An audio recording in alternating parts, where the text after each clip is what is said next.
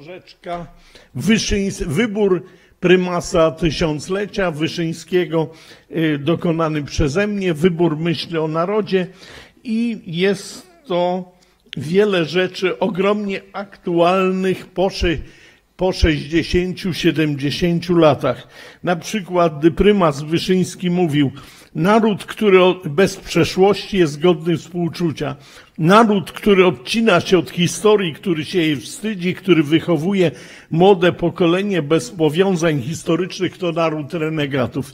Przypomnijmy, że historię obcina się u nas bardzo skrupulatnie zarządów PO, chociażby pani Hall, minister Hall czy pani Szumilas.